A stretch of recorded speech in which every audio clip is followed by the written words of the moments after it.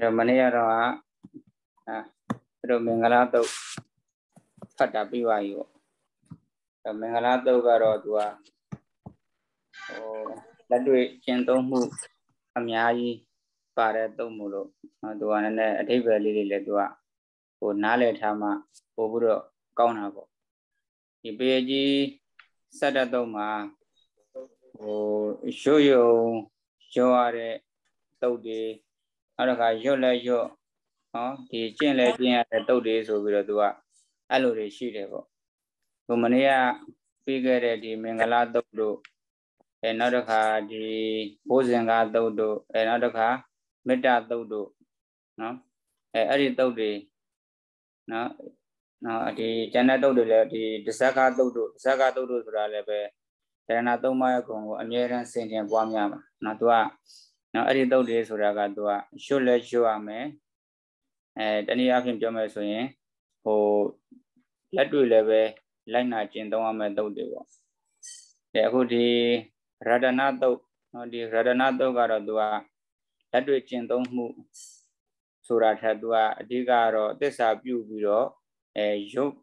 ယုံပေါ့ဒီဟိုရတနာတုတ်တို့နောက်ဘုရားရှိခိုးတဲ့မောရတုတ်တို့ နောက်တစ်ခါသစ္စာပြုတဲ့ဝတ္တတုတ်တို့နောက်အာဒါနာတိယတုတ်တို့ပုဗ္ဗနာတုတ်တို့နောက်အဲ့လိုသုံးမျိုးတွေကြတော့သူကလက်တွေ့ကျင့်သုံးမှုတော့သိမရှိဘူးပေါ့သူအဓိကတော့အဲဟိုပုပ္ပအခရာမှန်မှန်ကန်ကန်နဲ့အဲရှုရမယ်တုတ်တွေပေါ့အဲ့တော့ကြောင့်မနေ့ကမင်္ဂလာတုတ်လေးလည်းပဲနည်းနည်းလေးဟိုအထိပ္ပယ်လေးနားလည်အောင်နည်းနည်းလေးပြောလိုက်တာပေါ့အဲ့တော့ မင်္ဂလာတုတ်ကဘယ်ကနေစတာလဲဆိုရင်ဒီအတေဝနာစဘာလာနာနေပြီးတော့စတာနော်အတေဝနာစဘာလာနာနေစပြီးတော့ဘာမှဆုံးလဲဆိုရင်နိဗ္ဗာန်ပစ္စည်းကိရိယာစဒီမှာနိဗ္ဗာန်ဆိုတာတော့သူကအဓိကတော့အရတ္တဖို့အရတ္တဖို့ရယဟန္တာဖြစ်ပြီးတော့နိဗ္ဗာန်ကိုမျက်မှောက်ပြုသွားတယ်ပေါ့နော်နိဗ္ဗာန်ထိတိုင်အောင်လက်တွေ့ကျင့်သုံးမယ်ဆိုရင်နိဗ္ဗာန်ထိတိုင်အောင် မျက်မှောက်ပြုနိုင်တယ်နိဗ္ဗာန်မှာအဆုံးသတ်သွားတယ်ဟောဒါအဲဒါမလို့ဒီပရိဒ္ဒနော်ပရိဒ္ဒဆိုတာကသူကပရိနဲ့တနဲ့ပေါ့ပရိရေတပရိဆိုတာကအန္တရာယ်ကိုနော်ပရိဆိုတာကပတ်ဝန်းကျင်ရက်၄မိနစ်ရက်၈မိနစ်ရက်10မိနစ်ကကြာရောက်လာတဲ့အန္တရာယ်ဒီအန္တရာယ်ကိုတဆိုတာကကာကွယ်တာ ဒါကိုပရိဒ္ဒလို့ခေါ်တာပေါ့အန္တရာယ်ကိုပရိအန္တရာယ်ကိုတကာကွယ်တယ်ပရိဒ္ဒအန္တရာယ်ကိုကာကွယ်တယ်ဒါအန္တရာယ်ကိုကာကွယ်တယ်ဆိုတဲ့နေရာမှာအန္တရာယ်ဆိုတာကမျက်စိနဲ့မြင်ရတဲ့အန္တရာယ်လည်းရှိတယ်မျက်စိနဲ့မမြင်ရတဲ့အန္တရာယ်တွေလည်းရှိတယ်ပေါ့အဲ့တော့ဒီမျက်စိနဲ့မြင်ရတဲ့အန္တရာယ်ကတော့ဟိုဟာကြည့်ပြီးတော့ရှောင်လို့ရတယ် မျက်စိနဲ့မမြင်ရတဲ့ဒီအန္တရာယ်တွေကိုကြတော့ကိုကနော်ပရိနဲ့ကာကွယ်ရတာပေါ့နော်အန္တရာယ်ကိုကာကွယ်တဲ့နေရာမှာသူကကုသိုလ်တရားနဲ့ကာကွယ်တာအကောင်းဆုံးပေါ့နော်အရင်နဲ့မမြင်ရတဲ့အန္တရာယ်တွေကိုကာကွယ်ရဲဆိုတဲ့နေရာမှာကုသိုလ်တရားနဲ့ကာကွယ်နိုင်မယ်ဆိုရင် အကောင်းဆုံးပဲနော်ဒါကြောင့်မလို့ဒီ ပရိဆိုတာကဒီမေတ္တာတရားပရိဆိုတာကဒီမေတ္တာတရားသစ္စာတရားတွေအဲအဲ့ဒါတွေကိုအခြေခံထားပြီးတော့ကုသိုလ်ဖြစ်အာညီနာနော်မျက်စိနဲ့မမြင်ရတဲ့အန္တရာယ်တွေကိုကာကွယ်တဲ့နေရာမှာကုသိုလ်တရားနဲ့ကာကွယ်တာအကောင်းဆုံးပဲအဲဒါပရိက္ခအန္တရာယ်ကိုကာကွယ်တယ်ဆိုတဲ့နေရာမှာသူကဟို တစ္ဆာတရားမှန်ကန်စွာဆိုတဲ့တစ္ဆာတရားအမြဲတမ်း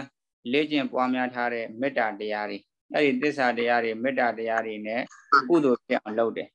လုပ်ပြီးပါပြီဆိုရင်အဲ့ဒီကုသိုလ်နဲ့အန္တရာယ်ကိုကာကွယ်တာ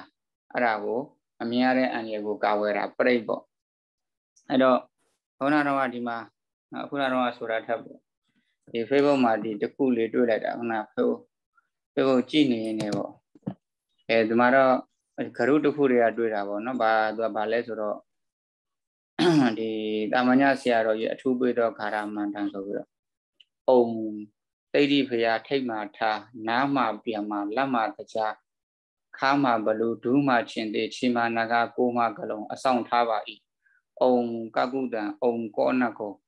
အုံကတ္တဗအုံဂေါရမအုံအရိမတေယအုံဒီပင်္ဂရမြတ်စွာဘုရားကိုကိုးကွယ်ပါ၏အုံဖရာတရား အုံဖရာအုံတရားအုံတန်ဃာတော်ဆိုပြီးတော့နော်ဒါကိုအမှုခင်းဖြစ်ရင်ကိုးကောက်ရော့စသည်ဖြင့်ဒီမှာတာမညဆရာတော်ပြီးတဲ့ခါရမန္တန်ဆိုပြီးတော့ဒီခရုတစ်ခုထဲမှာတွေ့တယ်ပစ္စည်းပြောက်ခြင်း၃ကောက်နေထိုင်မကောင်းရင်9ခေါက်ချမ်းသာခြင်း12ခေါက်စစ်တိုက်သွားရင်5ခေါက်ရုပ်အဲစသည်ဖြင့်ဒီမှာနော်ပုံခံတဲ့ပုံဖရာပုံတရားအုံတန်ကဒီအုံရဲ့နောက်မှာမှာဖရာတရားတန်ကဖရာတွေအကုန်လုံးဟောဖြစ်ထားတာပေါ့ အဲ့တော့ဟိုအမှန်တိုင်းပြောရရင်တော့ဒါကျတို့ထေရဝါဒဗုဒ္ဓဘာသာနိုင်ငံမှာเนาะဒီဖះဟောတာကဒီပရိတ်ဖះဟောတဲ့ခါရာဆိုတာဒီပရိတ်တွေပဲရှိတယ်။နော်အုံနေအောင်းနေပါတဲ့ခါရာကိုဖះမဟောဘူး။နော်ဒါကြောင့်မလို့ဖះမဟောတဲ့နော်ဒီဖေဒီဟာတွေကိုဖះစကားတွေရဲ့ဖះစကားတွေရဲ့ရှေ့မှာ ဖះတရားတန်ခါရဲ့တန်ခါရဲ့ရှေ့မှာဓာတွေကိုထားပြီးတော့ဆိုရဲဆိုတာတော့နော်ဘယ်လိုပြောမလို့ဖះရဲ့စကားတော်တွေသိခါကြတယ်လို့ပြောမှာပေါ့နော်ဖះစကားတော်တွေသိခါကြတယ်ဟိုတနေ့ကတော့ပြောသလိုပေါ့ဒီအုံဆိုတာကဒါပါကျုပ်ဆရာတော်ဘုရားကြီးနော်ပြောထားပြီးသားပေါ့နော်ဒီအုံဆိုတာကဟိန္ဒူတွေကဟိန္ဒူတွေရဲ့ကိုးကွယ်တာပေါ့နော်ဟိန္ဒူဆိုတာကသူတို့ကဗြဟ္မာကိုကိုးကွယ်တာ ဟိန္ဒူတွေကအဲ့တော့ဗြဟ္မာကိုဘာကြောင့်ကိုးကွယ်တာလဲဆိုရင်ဗြဟ္မာဒီကဘာကြီးကိုဖန်ဆင်းတယ်အဲကြောင့်မို့လို့ဖန်ဆင်းရှင်အနေနဲ့ဟိန္ဒူတွေကဗျမ္မာကိုကိုးကွယ်တယ်နော်ဒီဗျမ္မာကိုကိုးကွယ်တယ်ဗျမ္မာဗျမ္မာဒီမှာဆိုရင်ဗျမ္မာလို့ဆိုတော့အဆုံးနေတယ်နော်အဲဟိန္ဒူကဟိုဗျမ္မာကိုကိုးကွယ်တယ်အဲနောက်တစ်ခါကျတော့သူကအဲဗျမ္မာကိုကိုးကွယ်ပြီးတဲ့နောက်မှာသူတို့တွေက ဘာကိုထပ်ကိုးကွယ်လဲဆိုတော့အဲ့ဒီကဘာကြီးကိုဗျမ္မာကြီးကဖန်ဆင်းတယ်အဲဖန်ဆင်းပြီးတဲ့နောက်မှာအဲ့ဒီဖန်ဆင်းမြမကြီးဖန်ဆင်းတဲ့ကဘာကြီးကိုကာဝယ်မဲ့စောင့်ရှောက်မဲ့ပုဂ္ဂိုလ်အဲဒါဟိုဗိဒနိုးပေါ့နော်ဟိုဗမာတန်နဲ့ဆိုရင်တော့ဗိဒနိုးပေါ့အဲသူတို့ရဲ့စကားအတန်နဲ့ဆိုရင်တော့သူတို့ခေါ်တာကြတော့ဘိရှနုဆိုတာနော်ဘိရှနုနာငယ်တချောင်းဝင်တို့ဟောအဲ့မှာ ဥဆုံးနေဘိရှနုဒီမြမကြတော့ဖန်ဆင်းတာကဘာကိုဖန်ဆင်းတယ်အဲဖန်ဆင်းထားတဲ့ကဘာကြီးကိုကာဝယ်ဖို့စောင့်ရှောက်ဖို့အတွက်ကဗေဒနုသူတို့အခေါ်အဲဘိရှနုဒါကိုသူတို့ကကိုးခွဲတာဒါကာကွယ်တဲ့ပုဂ္ဂိုလ်ပေါ့အဲနောက်တစ်ခါကဘာကြီးကိုဖြတ်စည်းမှာကဘာကြီးကိုဖြတ်စည်းမှာကတိဝနတ်နော်သူတို့ဖះเจ้าတွေမှာအဲလူခန္ဓာကိုယ်ရဲ့ နော်ဟိုစင်ခေါင်းနဲ့လူခန္ဓာကိုယ်နော်လူကိုယ်နဲ့စင်စင်နာမောင်းနဲ့နော်ဒါကြီးဒါရှိတယ်ပေါ့အဲဒါကိုသိဝနတ်အဲဒါသူတို့ဟိန္ဒူအတန်နဲ့သူတို့ခေါ်တယ်ဆိုရင်သူတို့ကရှီဗန်လို့ခေါ်တာတဲ့နော်ဖြက်စီးတာဖြက်စီးမဲ့ပုံကိုလည်းပဲသူကမဖြက်စီးအောင်လို့ချော့မော့ပြီးတော့ကိုးခွေရတာဖြက်စီးမှာအခုနလိုဗေဒနုကိုသူတို့အခေါ်ဆိုရင်ရှီဗန်ဆိုတဲ့ရှီဗန်လို့ခေါ်တာ ဒါဥစဉ်ဒီပါတော့ဆရာတော်တရားနာပြီးတော့မှတ်ထားတာပေါ့နော်အဲရှီဗန်နဲ့ဒီမှာမဆုံးတယ်နော်ဒါဆိုဒီမှာအဆိုတာကဘာကြီးကိုဖန်ဆင်းတဲ့ဖန်ဆင်းရှင်ပြမကိုဟိုကိုးကွယ်ဖို့အတွက်သူ့ရဲ့အတူချုပ်နော်အနေနဲ့ပြမဆိုတော့အဆုံးတယ်အဲ့ဒါကအဲ့ဒီကဘာကြီးကိုကာကွယ်စောင့်ရှောက်မဲ့ဗိဒနိုအဲသူတို့ဟိန္ဒူတန်နဲ့ဆိုရင်ဘိရှနုအဲသူကကြတော့ဥကဘာကြီးကိုကာကွယ်မဲ့ပုဂ္ဂိုလ်စောင့်ရှောက်မဲ့ပုဂ္ဂိုလ် အဲကဘာကြီးကိုဖျက်ဆီးမဲ့ပုဂ္ဂိုလ်ကြတော့ရှီဗန်အဲသူတို့ဟိုဗမာတွေအလိုဆိုရင်တော့တိဝနတ်နော်သူတို့အခေါ်ဆိုရင်တော့ရှီဗန်မဆုံးတယ်နော်ဖန်ဆင်းတဲ့သူကဖန်ဆင်းတယ်ဖန်ဆင်းတာကိုကာကွယ်ဆောင်ရှောက်မဲ့ပုဂ္ဂိုလ်ကကာကွယ်ဆောင်ရှောက်မယ်အဲပြီးရင်ဖြက်စီးမဲ့သူကလည်းပဲသူကဖြက်စီးမှာပဲနော်အဲဖြက်စီးမဲ့ပုဂ္ဂိုလ်ကိုမဖြက်စီးအောင်မဖြက်စီးအောင်လို့ဆိုပြီးတော့ချော့မော်ပြီးတော့မဖြက်စီးမှာကြောက်တဲ့အတွက်ကြောင့်မလို့ကိုးခွေရတယ် အဲ့တော့အာဖန်ဆင်းတဲ့ပြမပြမအဆုံးတယ်ကာကွယ်မဲ့ပိရှနုကဥဆုံးတယ်အဲဖြက်စီးမဲ့ရှိဗန်ဆိုတာဒီမှာမဆုံးတယ်အာဥမနော်အာဥမာအဲအဲ့ဒီအာဥမာကိုသူတို့ကနော်ဟိုအတူချုပ်အဲ့ဒီပုဂ္ဂိုလ်၃ယောက်ကိုအတူချုပ်အနေနဲ့နော်သူတို့အနေနဲ့ဒါဟိုဗုဒ္ဓဘာသာအနေဗုဒ္ဓဘာသာဒီမှာဆိုရင်လည်းဘုရားတရားတန်ခါ နော်ယရနာ၃ပါးရှိသလိုဟိန္ဒူအနေနဲ့ဆိုရင်လည်းပဲဒီအာဥမဆိုတာသူတို့ရဲ့ယရနာ၃ပါးယရနာ၃ပါး၃ယောက်ပဲပေါ့နော်ယရနာ၃ယောက်ပဲအဲသူတို့ကအဲ့ဒီ၃ယောက်ကိုအတူချုပ်အနေနဲ့အဲတခါတည်းပေါင်းပြီးတော့ရှ िख ိုးခြင်းတဲ့အတွက်ကြောင့်မလို့၃ခုကိုပေါင်းလိုက်တာနော်ဟိုမှာအာချောင်းဝင်ဆိုရင်အခရာဥကိုတစ်ချောင်းဝင်လောက်လိုက်အဲပြီးတဲ့အခါမှာမလေးရတော့မတော့သူက အတန်အပြည့်ဝဒီမှာသူကအတက်ကလေးနဲ့ဆုံးတာအတန်အပြည့်ဝမထွက်ဘူးပေါ့ဗဇက်ပိတ်မှာပေါ့အဲသူအတက်ကလေးနဲ့ပဲအုံအဲအဲ့ဒါကိုပါဠိလိုကြတော့ဒီလိုလေးဒီလိုလေးရေးလိုက်တာဒါလည်းအုံမှာပဲသူကတော့ချောင်းဝင်ထည့်ထားတာပုံဆိုပြီးတော့ငါဒါကြောင့်မလို့အုံဆိုတာကဟိန္ဒူဘာသာတွေရဲ့ကိုးကွယ်ရာသူကိုးကွယ်တဲ့ကျရဏသုံးပါးကိုသူတို့ကအတူတူအနေနဲ့ရှ िख ိုးတာအဲဒါကြောင့်ဒါဗုဒ္ဓဘာသာနဲ့ဆိုင်လားဆိုရင်မဆိုင်ဘူးတဲ့เအဲဒီဆရာတော်ပြောတာကတော့ဒါဟိုဗုဒ္ဓဘာသာအဲလူတွေကအတိဘယ်ကိုသိအောင်မလုပ်ဘူးလုပ်ဘူးမစင်စားဘဲနဲ့ကိုယုံကြည်ရာဟိုအစင်အလာအတိုင်းပေါ့နော်လိုက်လက်ခံပြီးတော့ပဲရွတ်ကြတယ်ဆိုကြတယ်ပေါ့ဒါကြောင့်မလို့ဒီပုံဆိုတဲ့ဇာကာကဗုဒ္ဓဘာသာနဲ့မဆိုင်တဲ့အတွက်ကြောင့်မို့လို့အဲဒါဗုဒ္ဓဘာသာတွေမရွတ်သင့်ဘူးအဲ့တော့ဒီတနည်းအားဖြင့်ပြောမယ်ဆိုရင်ဒီဗုဒ္ဓရဲ့ဇာကာတော်ရဲ့ဒီရဲ့ရှေ့မှာဒီအုံတွေအောင်းတွေဆိုတာတွေကို မထည့်သင့်ဘူးပေါ့အဲ့လိုထည့်လိုက်ရင်ဘာဖြစ်သွားမလို့ဗုဒ္ဓရဲ့စကားလုံးတွေအဲသိခါကြတာပေါ့နော်ဗုဒ္ဓရဲ့စကားလုံးတွေအဲသိခါကြတာမျိုးတွေဘာတွေဖြစ်သွားတတ်တယ်နော်တနည်းအားဖြင့်ဟိုတန်ဖိုးဟိုကိုယ်ဘာသာရဲ့တန်ဖိုးကိုကိုကိုယ်တိုင်းနှိမ့်ချတယ်လို့ဖြစ်သွားတတ်တယ်ပေါ့ဖြစ်သွားတတ်တဲ့အတွက်ကြောင့်မို့လို့အဲဒီအုံတွေအောင်းတွေဆိုတာဟိုအဲဒီဗုဒ္ဓဘာသာရဲ့ဒီထေရဝါဒ ဘုရားဟောပိဋကတ်တော်ရဲ့ရှေ့မှာထည့်ပြီးတော့လုံးဝမဆိုသင့်ဘူးဆိုတာလေးကိုဆရာတော်ရတာဟိုမှတ်ချက်ပေးတာပေါ့နော်ဒါဒီအုံနေအောင်းနေခံနေဆိုတာအမှန်တကယ်တော့ဒါမန္တန်ပေါ့အဲ့တော့ဂါရမန္တန်နဲ့ဒီပရိက္ခလည်းဂါရပဲမန္တန်ဆိုတာလည်းပဲဂါရပဲပေါ့နော်အဲ့တော့ဘာထုလဲပေါ့ဒီမန္တန်ဆိုတာဟိုဖယားမပွင့်ခင်ခရဲကဒီမန္တန်တွေကရှိတာပဲလေ နော်ဟိုဘုရားမပွင့်ခင်တွေကဇံရတဲ့ယတိတွေဘာတွေရှိတာပဲအဲ့ဒီဇံရတဲ့ယတိတွေကအဲသူကပြောမှဆိုရင်သူတို့တွေကသူတို့ရဲ့ပညာတွေနဲ့စီရင်ထားခဲ့တာခုနလိုအုံအောင်ဆိုတဲ့ဟိုဂါရမန္တန်တွေအဲကြောင့်သူတို့စီရင်ထားခဲ့တာဆိုတော့နော်ဟိုတကယ်ပညာရှိပုဂ္ဂိုလ်တွေဖြစ်တဲ့အတွက်ကြောင့်မို့လို့သူတို့ရဲ့အဲ့ဒီဂါရမန္တန်တွေကလည်းပဲအန္တရာယ်တွေကိုကာကွယ်ကောင်းကာကွယ်နိုင်လိမ့်မယ်နော်ကာကွယ်နိုင်လိမ့်မယ် ဒါပေမဲ့ဂါရမန္တန်ဆိုတာကနော်သူကဗဇက်ကရွတ်ယုံပဲရွတ်ယုံပဲရွတ်ရတာဂါရမန္တန်ဆိုတာလက်တွေ့ကျင့်သုံးမှုသူကဘာတစ်ခုမှမရှိဘူးနော်ဂါရမန္တန်ဆိုတာလက်တွေ့ကျင့်သုံးမှုမရှိဘူးတော်ဒီဖះဟောတဲ့ဒီပရိတ်တော်တွေဆိုတာကတကယ်အန္တရာယ်ကိုလည်းပဲကာကွယ်နိုင်တယ်လို့ခုနမင်္ဂလာတုတ်ပဲမရကြည့်ပေါ့အတေဝနာစဘာလာနန်းနေပြီးတော့ နော်လူမိုက်ကိုမပေါင်းသိရဘူးဆိုတဲ့မင်္ဂလာနေစလိုက်ပြီးတော့နောက်ဆုံးနိဗ္ဗာန်တိစိကရိယာစအဲ့မင်္ဂလာအစဉ်တိုင်းကျင့်သွားတဲ့အခါမှာ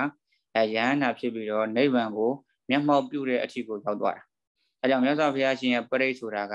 အန္တရာယ်ကိုကာကွယ်နိုင်ုံတင်မကဘူးပေါ့လက်တွေ့ကျင့်သုံးမယ်ဆိုရင်ဒါအသိဉာဏ်တွေရင့်တန်ပြီးတော့အဲတန်တရာဝေါကနေကိုဘာဖြစ်တော့ဆိုရင်အဲကျွတ်လွတ်သွားနိုင်တယ်ကာရမန္တဆိုတာက ရုပ်ဖတ်ယုံရုပ်ဖတ်ရတာအန္တရာယ်ကင်းယုံပဲအန္တရာယ်ရုပ်ဖတ်ယုံတတ်တတ်ပဲရှိတယ်အန္တရာယ်လည်းပဲကင်းယုံလောက်ပဲလက်တွေ့ကျင့်သုံးမှုသူမှမရှိဘူးပရိက္ခကြတော့လက်တွေ့ကျင့်သုံးမှုပါတဲ့အတွက်ကြောင့်မို့လို့အပြင်အန္တရာယ်ထင်မကဘူးပေါ့နော်အတွင်ကိလေသာအန္တရာယ်တွေကိုပါသူကကာကွယ်နိုင်တယ်တားဆီးနိုင်တယ်ပယ်တတ်နိုင်တယ်နော်ဒါကြောင့်မို့လို့ဒီသူကဘာတွေနဲ့အန္တရာယ်ကိုပယ်တတ်တာလဲဆိုရင်ခုနပြောသလိုကုသိုလ်နဲ့ပေါ့ ကြောင့်ဒီပရိတရားဆိုတာကခုနလိုယရဏသုံးပါးကိုမေတ္တာတရားသစ္စာတရားတွေကိုအခြေခံကုသိုလ်ဖြစ်အောင်လုပ်ပြီးတော့အဲ့ဒီကုသိုလ်တွေနဲ့အန္တရာယ်တွေကိုပယ်တတ်တယ်အဲ့ဒီပရိအတိုင်းလက်တွေ့လိုက်နာကျင့်သုံးမယ်ဆိုရင်သန္တရာဘုကလည်းပဲလွတ်နိုင်တဲ့ကျင့်စဉ်တွေဖြစ်တယ်ပေါ့နော်မေတ္တာသုံးပါးဆိုရင်လည်းပဲဒီတိုင်းပဲလာတာပေါ့အဲဒါကြောင့်မို့လို့နိဗ္ဗာန်ထိတိုင်အောင်အကျိုးပြုနိုင်တဲ့အတွက်နော်ဒီအဲ့လိုဂါရမန္တန်နဲ့ဘုရားဟောပရိတ်မတူဆိုတဲ့မတူတဲ့သဘောတရားလေးတွေကိုလည်းပဲ အဲတိတိကျကျမှတ်ထားပြီးတော့နောက်တန်ဖိုးထားပြီးတော့ရွတ်ဆိုသင့်တယ်ဆိုတာကိုအဲဒီဆရာတော်ကြီးမှတ်ချက်ပေးထားတာပေါ့အဲ့တော့ဒါတွေ့လို့ပါဒီမှာအဲဟိုတာမညာဆရာတော်ကြီးပေးတဲ့ခါတာမန္တန်လို့တော့အဲ့မှာရေးထားတာပဲပြန်ထားလိုက်တော့ဒါဆိုရင်မနေ့ကမင်္ဂလာတုတ်ဆိုင်ရတော့အဲပြီးပါပြီပေါ့နော်မဖတ်တတ်တဲ့ပါဠိတော့သိမရှိပါဘူးမရှိလည်းပဲမေးလို့ရတယ်နော်ကဲမိမိတို့ဖတ်နေတာနဲ့ ဟိုအရှင်ဘုရားဖတ်သွားတာနဲ့မတူဘူးဘုရားကိုယ့်အကိုဘယ်ဟာအမှန်လဲဆိုတာလည်းပဲမဆုံးဖြတ်နိုင်ဘူးဆိုရင်လည်းပဲအခုသင်နေတဲ့အချိန်အတွင်းမှာလည်းပဲမေးလို့ရပါတယ်နော်ဟိုသင်နေတဲ့အချိန်အတွင်းမှာလည်းပဲဟိုဖတ်နေကြနဲ့မတူလို့ကိုယ့်ဟာကိုလည်းပဲကိုကအမှားလို့မထင်ဘူးနော်ဟိုဒီကဘုန်းကြီးဖတ်ပြတာကိုလည်းပဲအဲဟိုအမှားလို့မထင်ဘူးဆိုဘယ်ဟာအမှန်လဲစဝေတော်ဖြစ်နေတယ်ဆိုရင်အဲ့ဒါလည်းပဲ မေးလို့ရပါတယ်။အဲဒါဆိုရင်ဒီမင်္ဂလာတုတ်ကိုပြီးစီပေါ့နော်မင်္ဂလာတုတ်ပြီးစီဒုတိယမြောက်မင်္ဂလာတုတ်ကမင်္ဂလာ38ပြမင်္ဂလာတရားတော်တွေကိုလက်တွေ့လိုက်နာကျင့်သုံးပြီးတော့နော်အနေရကင်းအောင်ကျမ်းမာချမ်းသာနောက်ဆုံးနိဗ္ဗာန်ထိတိုင်အောင်မျက်မှောက်ပြုနိုင်အောင်လက်တွေ့ကျင့်သုံးရတဲ့တုတ်ပေါ့အဲဒါဆိုရင်ဒုတိယမြောက်ဖြစ်တဲ့နော်ရတနာတုတ်တယရဏတုတ်ပါဠိလိုဆိုရင်တော့ရတနာတုတ်တ မြန်မာလိုဆိုရင်တော့ယရဏတုတ်ပေါ့နော်ဒီယရဏတုတ်ဒီယရဏတုတ်ဆိုတာလည်းပဲသူကအမှန်တရားတွေယရဏသုံးပါးရဲ့ခုံအမှန်တရားတွေကိုထုတ်ဖော်ပြီးတော့ဒီအနေကင်းအောင်လုပ်တာတနည်းအားဖြင့်ပြောမယ်ဆိုရင်လည်းပဲဒီယရဏတုတ်ကလည်းပဲသူကမေတ္တာပို့တာပဲအေဒိနာသစ္စေနာသူဝတိဟောတုဤသစ္စာစကားကြောင့်တတ္တဝါတွေကျမ်းမာပါသည်ချမ်းသာပါသည်ဆိုပြီးတော့သူကအဲ့လိုလာမှာပဲမေတ္တာပို့တာပဲဟုတ် ဒါပေမဲ့သူကတော့ဟိုမေတ္တာဆိုပေမဲ့လို့ဟိုမေတ္တာသုတ်တို့လိုမျိုးဒီရိုးရိုးတန်တန်မေတ္တာပို့တာမဟုတ်ဒီယန္နာသုံးပါးရဲ့ဂုဏ်တွေကိုရွတ်ဆိုမှန်မှန်ကန်ကန်ရွတ်ဆိုပူဇော်တယ်အဲအဲ့လိုမှန်မှန်ကန်ကန်ရွတ်ဆိုပူဇော်ခြင်းကြောင့်တနည်းအားဖြင့်အဲသစ္စာဤသစ္စာစကားကြောင့်တတ္တဝါတွေချမ်းသာပါစေဆိုပြီးတော့သစ္စာပြုပြီးတော့မေတ္တာပို့တာနော်သစ္စာပြုပြီးတော့မေတ္တာပို့တဲ့တော့တရား နော်ဒီပရိစ္ဆတတုတ်ထဲမှာဒီရတနာတုတ်ကဘုရားဟောပါဠိတော်အများဆုံးပါတဲ့တုတ်တနည်းအားဖြင့်အကောင်းဆုံးဖြစ်တဲ့တုတ်တနည်းအားဖြင့်ရွှတ်ဖို့အသင့်တော်ဆုံးဖြစ်တဲ့တုတ်ဒါဦးဇင်းတို့ဒီအကြောင်းမှာတော့ဘုရားဟောတတ်တိုင်းဒီနေ့စဉ်နေတိုင်းပေါ့အဲဒီရတနာတုတ်ကိုအနုလုံပရိလုံအမြဲတမ်းရွတ်တယ်ကျန်တဲ့တုတ်တွေကတော့သူ့နေနဲ့အလိုက်ရွတ်တယ်ပေါ့ဒီရတနာတုတ်ကတော့နေတိုင်းနေတိုင်းအဲအနုလုံပရိလုံနေတိုင်းရွတ်တယ် နော်ဒါကြောင့်မို့လို့ဒီယရဏတုတ်ကတော့ဟိုနမောတသရတယ်လို့ပဲစတဲ့ဆွဲနေတာပေါ့နော်မယုံဆိုရင်လည်းပဲစုပြစုပြဟိုဆိုရင်စုပြပေးလို့ရတယ်မဲနေတိုင်းဖျားဟုတ်တဲ့တိုင်းရွတ်နေရတာဆိုတော့အနုလုံပရိလုံကိုအမြဲတမ်းရွတ်တာအနုလုံနေမဟုတ်ဘူးပေါ့ဒါအဲ့တော့ဒီမှာပရမအုဆုံးဒီပါဠိတော်လေးကိုပဲအရင်စပြီးတော့ဖတ်ပြမယ်သူကခုနပြောလို့ပေါ့အဲသစ္စာပြုတ်ပြီးတော့မေတ္တာပို့တာ သစ္စာပြုတ်ပြီးတော့မေတ္တာပို့တာဒါကြောင့်မလို့ဒီယရဏသုတ်ကိုကိုကဟိုနီးမိပြီးတော့နော်ဟိုမေတ္တာပို့တဲ့အခါမျိုးတွေမှာဒါတော့လူတိုင်းကမေတ္တာပို့နေကြတဲ့ပုဂ္ဂိုလ်တွေပါပဲတတဝါတွေကြမ်းပါပါတွေချမ်းသာပါတွေဆိုပြီးတော့စိတ်ကဘာပါမပါပါပို့နေကြတာပေါ့အဲမေတ္တာပို့တဲ့အခါမှာရိုးရိုးမပို့ဘဲနဲ့ငါကိုနှစ်သက်ရာတစ်ခုခုကိုအာဟိုအနည်းအားဖြင့်ဒီအရဟံဂုံကိုနေ့စဉ်ပွားများပါတယ် ဒီမှန်သောသစ္စာစကားကြောင့်တတဝါတွေကျမ်းမာပါတွေချမ်းသာပါတွေစသည်ဖြင့်ပေါ့ကိုနှစ်သက်ရာတစ်ခုခုကိုသစ္စာဆိုပြီးတော့မေတ္တာပို့မယ်ဆိုရင်ဒါဒီယရဏတော့အတိုင်းဖြစ်သွားတာပဲငါဖြစ်သွားတာပဲဒါလေးတွေကိုနှီးမိပြီးတော့အဲမေတ္တာပို့ဖို့နော်ဒါဒီတော့ပထမဆုံးပါဠိလေးကိုအရင်ဖတ်ပြီးဖတ်ပြမယ်အဲပါဠိလေးပဲသူကမှန်မှန်ကန်ကန်ဖတ်တတ်ဖို့အရေးကြီးတယ်ပေါ့ပဏိဒါနာတောပဋ္ဌာယာ ဒါတော့ဒါလေးလင်းချင်းနဲ့ထောက်အောင်ပဲဆင်တာအဲသူကမဖတ်တတ်ဘူးဆိုရင်တောင်းဝင်ဘူးနဲ့ထဆင်လို့ဆင်တယ်လို့ဖတ်ပေါ့ဝပြေးအချင်းချင်းဆင်တာဆိုတော့အပေါ်ကတောင်းဝင်ဘူးကိုအသက်လေးတင်အသက်အသက်တန်ပဲထွက်မယ်ပဏိဒါနာတောပဋ္ဌာယာတထာဂတတဒါဒီမှာတထာပုံနဲ့အာဂတပုံနဲ့နော်တထာဟိုတနည်းအားဖြင့်နားလည်အောင်ပြောရင်တော့တထာဂတပေါ့ တထာနဲ့ကတနဲ့ပဲထားလိုက်တထာနဲ့ကတနဲ့ဆိုတော့တထာကတတအဲအဲ့ဒီမှာလည်းပဲဒီတထာဆိုတာကတာပုတ်ရယ်ထာပစ္စည်းရယ်နော်တဗ္ဗနာမေပကာရဝါစနေတုထာဆိုတဲ့တုတ်လေးရှိနော်တဗ္ဗနာပုတ်တွေရဲ့နောက်မှာထာပစ္စည်းတက်တာတာတဗ္ဗနာပုတ်နောက်ထာပစ္စည်းတက်တာဆိုတော့အဲတော့သူ့ကိုတာပုတ်နဲ့ထာပုတ်ဖြစ်တဲ့အတွက်ကြောင့်မို့လို့တထာလို့လည်းဖတ်ဖတ်လို့ရတယ်တထာခတတအဲ့လိုလည်းဖတ်လို့ရတယ်ဒါမှမဟုတ် အဲတထာတပုတ်ထဲယူပြီးတော့ဒီဘက်ကတထာပုတ်ကတပုတ်ဖြစ်တဲ့အတွက်ကြောင့်မို့လို့တထာခတတအဲအဲ့လိုလည်းဖတ်လို့ရတယ်နော်ဒါဘယ်လိုဖတ်ဖတ်ရတယ်တထာဂတတဓတ္တပါရမီယောဒီဓတ္တကိုပါရမီယောနဲ့တွဲပြီးတော့ဖတ်ဓတ္တပါရမီယောဓတ္တဥပပါရမီယောဓတ္တပရမတ္ထပါရမီယောတိဥပပရမတ္ထဥပဘုပပါရမီဘုဓတ္တ ဥပပါရမီယောဓတ္တပရမတ္ထပါရမီယောတိသမတ္တိတပါရမီယောအဲတချို့ကြတော့လည်းပဲဒီနေရာလေးမှာတောင်းမှုနှလုံးစင်းမဟုတ်ဘဲနဲ့တောင်းမှုတစ်လုံးတည်းနဲ့လည်းပဲရှိတယ်တမတိန်တဆိုပြီးတော့လည်းပဲရှိတယ်ပေါ့နော်အဲအဲ့လိုရှိလည်းပဲမှန်ပါတယ်နော်တမတိန်တလို့ရှိတယ်မှန်တယ်ဒါပေမဲ့လို့ရှေ့ဟိုမင်္ဂလာတုံမှာတော့အတွေ့ခဲ့တဲ့အထတိန်တင်စမင်္ဂလာဆိုတဲ့ဇာတ်ကားလေး နော်မင်္ဂလာတုံမှာတော့ဒီမှာဟောဒီဖြစ်တယ်ဖြစ်အောင်ဖြစ်လာပြီဟိုမင်္ဂလာတုံမှာတော့အထတိန်တင်စမင်္ဂလာအာဒီမှာအဲ့စကားလေးတွေ့ခဲ့တယ်အထတိန်တင်စဆိုရင်ဒီမှာတောင်းဖို့နှလုံးနဲ့ဒီလိုလေးလေအာဒီလိုလေးတောင်းဖို့နှလုံးနဲ့အဲအထတိန်တင်စဆိုပြီးတော့အဲ့လိုတွေ့ခဲ့တယ်ဒါကြောင့်မလို့တောင်းဖို့နှလုံးစင်းနဲ့ရှိတာပို့ပြီးတော့ကောင်းတယ်ပေါ့ဒီမှာတော့တောင်းဖို့နှလုံးနဲ့ရှိတယ်ပေါ့ ကျိုးစာအုပ်ဒီမှာတောင်းဖို့တစ်လုံးနဲ့ရှိတယ်တမတိန်တဆိုပြီးတော့အဲ့ဒါလည်းမှန်တော့မှန်တယ်တန်းဖို့နှလုံးနဲ့ရှိတော့ရှေ့နဲ့နောက်နဲ့ညီးတာပေါ့မင်္ဂလာတုံးမှာဆိုခဲ့တဲ့ဇာတ်ကားနဲ့ညီးတယ်တမတိန်တမတိန်တပါရမီယောနော်အဲပြီးတဲ့နောက်မှာ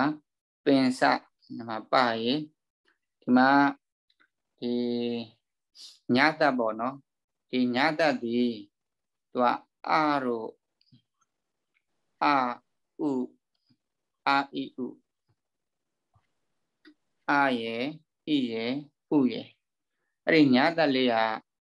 အာရဲ့နောက်မှာရှိနေတယ်ဆိုရင်သူ့ကိုငါးတတ်တန်နဲ့ဖတ်ရတယ်နော်အကယ်၍ဤတို့ဥတို့ရဲ့နောက်မှာရှိနေတယ်ဆိုရင်အဲ့ဒါသေးသေးတင်ရဲ့အတန်နဲ့ဖတ်လိုက်နော်အောက်မှာတွေ့လိမ့်မယ်ကာရုံညဆိုတာဒီအောက်မှာနည်းနည်းလေးကြော်ကြည့်လိုက်ရင်ကာရုံညဆိုတာလေးတွေ့လိမ့်မယ်ကာရုံညဆိုရင်ရားကောက်မှာတစ်ချောင်းဝင်ရဥလေးရားကောက်မှာတစ်ချောင်းဝင်ရဥလေး ဟောအဲ့ဒီဥရဲ့နောက်မှာဒီညတက်လေးရှိနေတယ်ညာနှလုံးလေးဆိုတော့အဲဒါကြောင့်မို့လို့ဤရဲ့နောက်မှာပဲညတက်ရှိရှိဥရဲ့နောက်မှာပဲ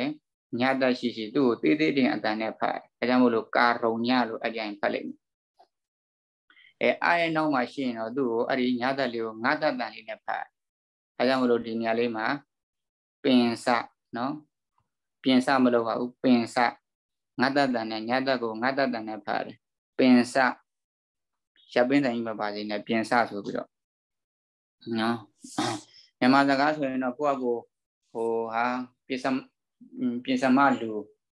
နော်အဲပြင်စမမြောက်ဒါမြန်မာစကားဆိုကိုယ့်အကိုပြင်စလို့ပြောတော့ဘာမှမဖြစ်ဒါမြန်မာစကားအနေနဲ့ပြောတာပါဠိတန်မှာတော့ပါဠိကိုအရှိကိုအရှိအတိုင်းတိတိကျကျဖတ်မယ်လို့ဆိုတဲ့စီကံအတိုင်းပဲပင်စပင်စမဟာပရိစ္ဆာကေ ပင်စမဟာပရိစ္ဆာကေအဲဒီဘက်ကလောကထစရိယံသူကလောကပုံနဲ့အထစရိယပုံနဲ့တွဲတာလောကထစရိယံညာတထစရိယံဗုဒ္ဓထစရိယံတိတိတ်သောစရိယာယောပစ္စည်းမဘဝေကဗ္ဗအဲရှိမတော့ကတ ဝေရေးချတတ်မြင်ကဖတ်ကြဝါဆွဲတံလို့ဟိုပါဠိဖတ်တုံးကတော့အဲ့ကာရာလေးတွေ့ခဲ့ရပေါ့အဲ့မှာအတ္တဆိုတာတဝေရေးချတတ်မြင်ကဆိုတဲ့နေရာမှာအဲ့ဒီအတ္တကဒီကတ္တတွေမပါဘူးနော်ကတ္တတို့မပါဘူးလို့ပြောခဲ့တယ်လေမှာဒါကြောင့်မို့လို့ဒီအောက်ကံတိတ်ခဏေတို့ဒီနော်အောက်ကံတိတ်ခဏေတို့ဘာလို့မှဆိုရင်ဟောပုတ်ကံတိတ်ခဏေလို့မဖတ်ဘူး အဲသူကတဝေရေးချတတ်ပါတော့လည်းပဲကတ္တဖြစ်တဲ့အတွက်ကြောင့်မို့လို့အောက်ကံတိတ်ခဏေပဲဖတ်တယ်ဟိုဒီမှာလည်းပဲဝါမှာတဝေထိုးရချကာကြီးနဲ့တတ်ထားတာဖြစ်တဲ့အတွက်ကြောင့်မလို့သူကချွင်းချက်လေးအဲ့ဒါတော့သူအရှိအတိုင်းပဲ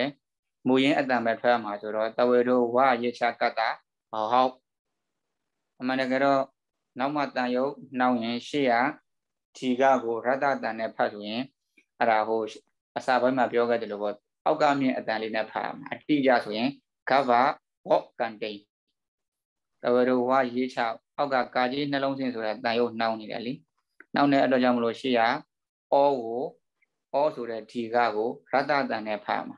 အဲဆိုအောကိုရတ္တတန်လို့တော့အော့အောက်ကမြင့်တန်လေးထားလိုက်အဲကြောင့်ကဗ္ဗဝော့ကန်တိန်အဲအဲ့ဒါဆိုရင်သရဏိကြတယ်ပေါ့နော်ဒါပေမဲ့လို့အဲအများဖတ်တဲ့အတိုင်းပဲဒီတိုင်းပဲအရှိတိုင်းပဲဖတ်လိုက်မယ် ပစ္စည်းမဘဝေကဗ္ဗဟောက်ကန်တိန်ဇာတိန်ပစ္စည်းမဘဝေကဗ္ဗဟောက်ကန်တိန်ဇာတိန်ကဗ္ဗဟောက်ကန်တိန်မှာတစ်ချက်ပေါ့တစ်ခါဖြတ်လိုက်ပေါ့သူကပရိသန္တိကြီးဇာတိန်အဲဒါမွေးဖားတာအဘိနိခမနံပရာဏစရိယံဘောရိပန်လင်ကေဒီမှာ ပေါ့ကိုလက်တက်တဲ့အခါမှာတေးသေးတဲ့အတန်နဲ့ဖတ်ပါရေးလက်တာပန်နော်ပါရေးလက်တာဆိုရင်တေးသေးတဲ့အတန်ဒါမှမဟုတ်နာတအတန်နာတအတန်နဲ့ဖတ်အဲကြောင့်ဘောဓိပန်လင်ကေမာရဝိဇယံမာရဝိဇယံမာရဆိုတာမင်္ဂပါဝိဇယဆိုတာအောင်နာမာရဝိဇယံတပ်ဖြင့် ဘာလို့ဒါညာနှလုံးရှင်းတာဖြစ်တဲ့အတွက်ကြောင့်မို့လို့အဲသူကဟိုညတစ်လုံးကိုအတ္တတန်နဲ့ထွားမယ်သူကဝက်ပြီးနှလုံးရှင်းတာဆိုတော့အဲရှေ့ရအပေါ်ဝက်ပြီးကိုအတ္တတန်ပဲထွားမယ်မူလသူ့ရဲ့ပင်ကိုအတန်မထွားဘူးအဲကြောင့်မလို့ရှေ့မှာတပ်ဖမှာအတ္တရာလေးရှိတယ်အဲကြောင့်မလို့အာနောက်မှာညာရှိရင်ငါတအတန်ထွားမယ်လို့အခုနပင်စမှာတော့ပြောခဲ့တယ်လို့ပဲအဲဆိုရင်ငါတအတန်လေးနဲ့တပ်ပင်ညု ဟောဒီမှာလည်းပဲတမှာလည်းပဲသူ့ရဲ့နောက်မှာညာနှလုံးစင်အဲ့တော့တမှာအာတရာရှိတဲ့အတွက်ကြောင့်မို့လို့ဟိုညာသက်ကိုငါသက်အတံပဲထွက်မယ်တပ်ပင်ညုတင်ညာနတ်ပฏิဝေဒံဒီပါဠိကအဘိုးဟိုတွေးပေါ်လာတာတပ်ပင်ညုတင်ညာနတ်ပฏิဝေဒံဆိုတော့ဗမာစကားမှာတော့သူကတော့တပ်ပင်ညုတညာအဲတပ်ပင်ညုတညာဆိုပြီးတော့ဒါသူကသူဗမာစကားပြောတာတော့ပြောပေါ့ အဲပါဠိဖတ်တဲ့အခါကျတော့တိတိကျကျဖတ်မှာဒါကြောင့်သဗ္ဗညုတင်ညာနပฏิဝေဒံဓမ္မသူကစက္ကမှာဒီပါတော့နှလုံးကတစ်လုံးကအပူလာတာဓမ္မစက္ကဘဝတဏံဓမ္မစက္ကဘဝတဏံဓမ္မစက္ကဘုံနဲ့ဘဝတဏဘုံပေါ့ဓမ္မစက္ကဘဝတဏံနဝ လောကုတ္တရဓမ္မေတိဟိမဟုတ်နော်နဝလောကုတ္တရဓမ္မေတိတဗ္ဗေပိမေဗုဒ္ဓကုနေဟောဒီမှာကြတော့ဒါတဝေရေးချက်တဝေလဲထိုးတတမျိုးဖယိုစတတံလို့ဆိုရတာဆိုတော့အဲဒီမှာတဝေထိုးဇာကွယ်ရေးတတဆိုရင်စစ်စတတံနဲ့ထွက်မှာအာဝတ်စစ်တဝါအာဝတ်စစ်တဝါတဗ္ဗေပိမေ ဗုဒ္ဓကုနေအာဝတ်စစ်တဝါစစ်တဝါเนาะတောင်မှဒီတဝါမှာကြတော့ဝက်ပြီးနဲ့အဝက်ပြီးတွေ့တာတယ်ဒါကြောင့်မို့လို့ဝက်ပြီးနဲ့အဝက်ပြီးနှလုံးဆင့်လာပြီဆိုရင်အပေါ်ကဝက်ပြီးကိုအတ္တတန်ရောမူလတန်ရောနှစ်တန်ထွက်နော်ဒါကြောင့်မို့လို့တောင်းဝင်ပူဝေကိုဒီကဇာခွဲနဲ့ဆင့်ပြီးတော့အတ္တတန်တစ်ချက်ထွက်ပြီးရင်သူ့ရဲ့မူလအတန်တဆိုပြီးတော့တစ်ချက်ထွက်ပြီးရင်ဝါကိုရေးချတစ်ခါအတန်ထွက် အဲဆိုရင်အာဝတ်စစ်တဝါသဗ္ဗေပိမေဗုဒ္ဓကုနေအာဝတ်စစ်တဝါဝေတာလိယာတိတုကဒီမှာကြတော့ပါကာရပုတ်ရဲ့အန္တရပုတ်ရဲ့နှစ်ခုထထားတာပါကာရနော်ပါကာရအဲပြီးရင်အန္တရအဲဒီမှာရကောက်လေးကမိယာတရမရှိတဲ့အခါမိယာတရမရှိဘူးဆိုရင်ဒီအလေးကိုကတ်လိုက် အလေးကိုကတ်လိုက်တဲ့အခါမှာပါကာရန္တရอืมအဲကြောင့်မလို့ပါကာရန္တရေတုနော်ပါကာရန္တရေတုမဟုတ်ဘူးနော်ပါကာရန္တရေတုဝေဒာလိယတေတုပါကာရန္တရေတုနောက်တစ်ခါတိယာမရတိန်ပရိဒံဟောဒီမှာကျတော့နာတတဝေရေးချ တမြင်ကဖတ်ကြားဝါဆွဲတံတဝေတို့ရာကောက်ရေးချနာငယ်နဲ့တတ်ထားတဲ့အတွက်အဲ့ဒါကိုဝါဆွဲတံနဲ့ဖတ်မယ်သူကနာတဆိုရင်ကရွန်တော်တိယာမရတိန်ပရိဒံကရွန်တော်တဝေရေးချတမြင်ကဖတ်ကြားဝါဆွဲတံ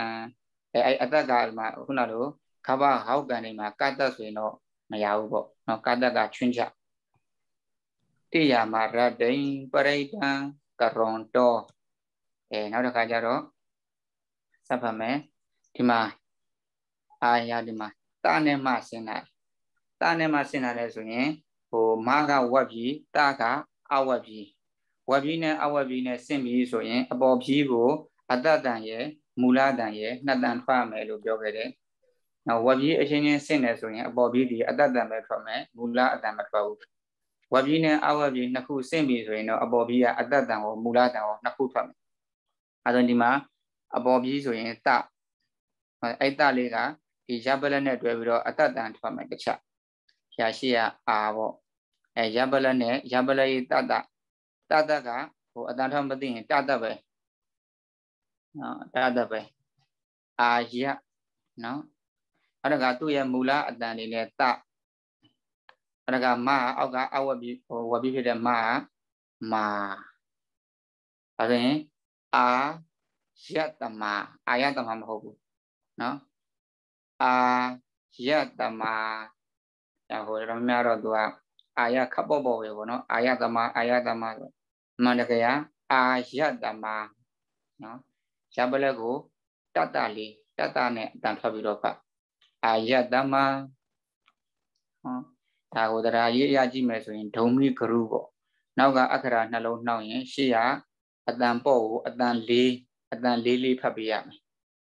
အဲဒါရပလက်ဆိုရလို့မဖတ်ဘဲနဲ့အတန်လေးရတော့ရဖြစ်သွားတယ်အာယတမအာနန္ဒခေါ်ဒီမှာတော့ဒီနာငယ်နဲ့ဓာတ်တွေနဲ့ဆင်းတယ်အဲသူတို့နှစ်ခုလုံးကဝက်ပြီးတွေကြီးပဲအဲကြောင့်မလို့အပေါ်ကနာငယ်လေးကိုအတ္တတံပဲထွက်မယ်သူ့မူလအတ္တမထွက်တော့ဘူးအဲကြောင့်မလို့ အာယတမအာနန္ဒထေရောဝိယအာယတမအာနန္ဒထေရောဝိယဒီမှာဟောအခုဒီမှာတွေ့ပြီခုနကတော့ပြောတာနော်ဒီညာလေးကအာတရာရဲ့နောက်မှာရှိရင်တော့ငါတအတန်ထွက်မယ်ဣတရာတို့ဥတရာတို့ရဲ့နောက်မှာရှိတယ်ဆိုရင်တော့အဲသူကနေဂဟိတံတေးသေးတင်အတန်ထွက်မယ်အခုဒီမှာညာကြီးရှိတယ်ဒါဆိုရှင်းမှာရုမှာအဲ ဥရှိတယ်ရာကောတစ်ချောင်းဝင်ရုဆိုတော့ဥရှိတယ်အဲဆိုဥဒရမှာဥဒရနောက်မှာညာတက်လေးရှိတော့သူ့ကိုတေးသေးတင်အတန်ထွက်တော့အဲကြောင့်မလို့ကာရုံညကာရုံညစိတ်တံဟောဒီမှာလည်းပဲဒါဒါလင်းချင်းနဲ့ထောင်းအောင်ပဲရှင်းတာဆိုတော့ဥပနော်ထပိဒီမှာတဝေတို့ဟိုတဝေတို့ ਨੇ ပါဆောက်တဝေရိတ်ချတ ဝေလက်ထိုးတတ်တမျိုးဖာယောစတတံနော်အဲကြောင့်မလို့ဥပဋ္ဌပိတဝါဒါပါဆောက်ကိုစတတံဖတ်နော်ဒီမှာတဝေတို့ပါဆောက်တဝေတို့ပါဆောက်ရေးတတပိတဝေလက်ထိုးတတ်တမျိုးဖာယောစတတံပြီးတော့မာဒီတဝါကြတော့တနဲ့ဝါဆိုရင်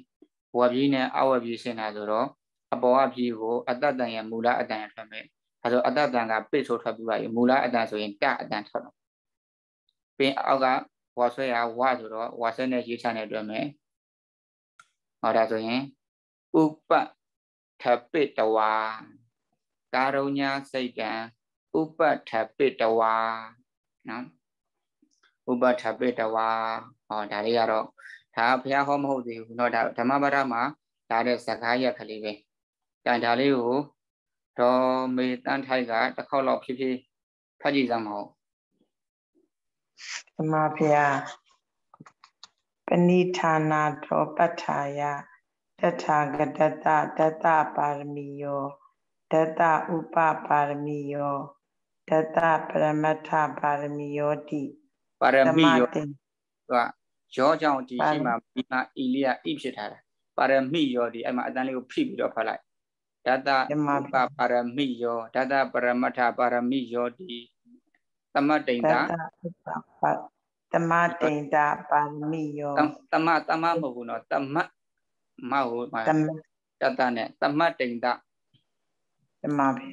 သမတိန်တာပါရမိယောသမပိသမဟာပရိစ္ဆာကေလောကတ္ထစရိယံညာတ္ထစရိယံ ဗုဒ္ဓတ္ထစရိယံတိတိတ်သောစရိယာယောပစ္စည်းမဘဝေကပ္ပဟောကတိအကပ္ပဟောကံတိဟောကတိကပ္ပဟောကံတိကပ္ပဟောကံတိဒီမှာစာတိအဘိနိခမနပရဏစရိယံဘောရိပံလင်္ကေမာရဝိဇယံတပ်ပင်ညုတင်ညာနာပတိဝေဒာ ဓမ္မစကံပဝတ္တနာနဝလောကုတ္တရတပိဟိတပိတိမိဟိမဟုတ်နော်ဓမ္မေတိအဟိဆိုရင်အဲ့ဒါဟိုအနတ်ပါမှားပါလိမ့်မယ်နဝလောကုတ္တရဓမ္မေတိဒီညာလေးမှာမှားရတယ်အာနဝလောကုတ္တရဓမ္မေတိနဝလောကုတ္တရဓမ္မေတိတပ်ပိပိမေဗုဒ္ဓဂုဏေအာဝဇ္ဇတဝဝိတာလိတိတု ပါကာရံတရိတုတိယမရတ္တိပရိတံကရွန်တောအာယတမအာနန္ဒတိယောဝိယကာရုညစိတ်တံဥပတ္ထပိတဝအဲဟိုနားမလဲသေးတဲ့နေရာရှင်းလဲဟိုပြောပါနော်ပြန်ပြီးတော့ရှင်းပြဒီနေရာတိတ်နားမလဲလို့ဆိုရင်အဲ့ဒါပြန်ပြီးတော့ဟိုရှင်းပြပေးပါမယ်အဲဒါလေးကိုဟိုနည်းနည်းလေးပတ်ချက်အနက်လေးပေးပြမယ်ပေါ့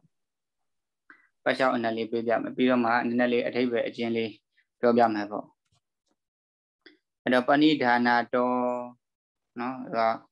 ဟိုပဏိဒါနာတော်ဒီပင်ကရာမြတ်စွာဘုရားခြေတော်ရင်း၌ဖျားစုပံရာအခါမှနော်ပဋ္ဌာယစ၍သူမရယတိဘဝစစတယ်လို့ပြောတာပေါ့ပဏိဒါနာတော်အာရိယဒီမြတ်စွာဘုရားရှင်ဟိုပြောမှဆိုရင်တော့ဘုရားလောင်းဘ ဝမှာသူပါရမီတွေဖြည့်ကျင့်ခဲ့တာတွေကိုသူကပြောပြမှာပဏိဒါနာတော်ဒီပင်ကရာမြတ်စွာဘုရားခြေတော်ရင်း၌ဘုရားစုပန်ရာအခါမှာပဋ္ဌာယစ၍တထာဂတတတထာဂတတရတယ်တထာဂတတမြတ်စွာဘုရားရှင်ဤဓာတပါရမီယောပါရမီ7ပါးနော်သူအထိပ္ပယ်ပေါ်အောင်ပဲအနတ်တိုင်းမပြီးတော့ဘူးနော်အထိပ္ပယ်ပေါ်အောင်ပဲဆိုတော့ဓာတပါရမီယောပါရမီ7ပါး ဓာတဥပပါရမီယောဥပပါရမီ7ပါးဓာတပရမတ္ထပါရမီယောတိပရမတ္ထပါရမီ7ပါးဟုဆိုအပ်သောတမတ်တိန်တပါရမီယောအမြ30သောပါရမီတော်တို့ကို၎င်းနော်ပါရမီ7ပါးကိုအဆင့်30နဲ့ခွဲလိုက်တဲ့အခါမှာပါရမီအပြား30ဖြစ်သွားတယ်ရိုးရိုးတူးကျင်တာရဲ့နော်တနည်းအားဖြင့်ကိုကို ပါရမီ7ပါးကိုရိုးရိုးဖြည့်ကျင်တာတနည်းအားဖြင့်ကိုအင်္ဂါခြေလက်ကိုဆွန့်လွတ်ပြီးတော့ဖြည့်ကျင်တာကိုအသက်ကိုဆွန့်လွတ်ပြီးတော့ဖြည့်ကျင်တာပေါ့အဆင့်30အဲခွဲလိုက်တဲ့အခါမှာပါရမီအပြား30ပေါ့အဲ့ဒါကိုသမတ်တိန်တပါရမီယောအမျှ30သောပါရမီတော်တို့ကို၎င်းပင်စမဟာပရိစ္ဆာခေ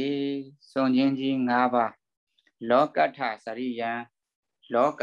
အထစရိယံတတဝါအလုံးအတွက် တတဝါအလုံး၏အကျိုးငါကျင့်ခြင်းလောကထစရိယ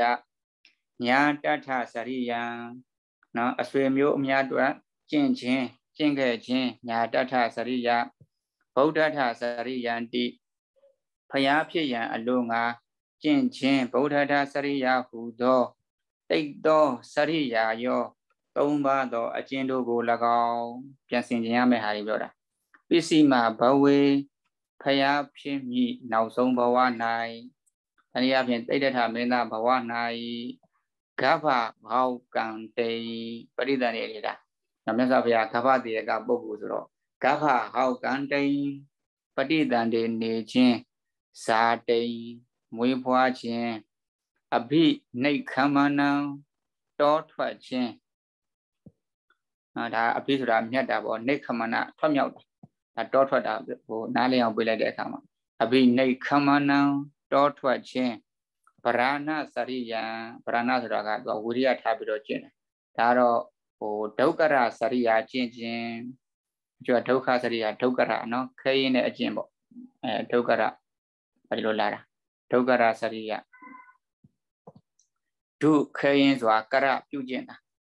ကရပြုအပ်တော်စရိယာအကျင့်ခဲခဲရင်ရင်ဘယ်သူမှ အဲမလုံနိုင်တဲ့အကျင့်ဒုက္ခရစရိယာလို့ပြောတာပရဏစရိယံဒုက္ခရစရိယာအကျင့်ချင်း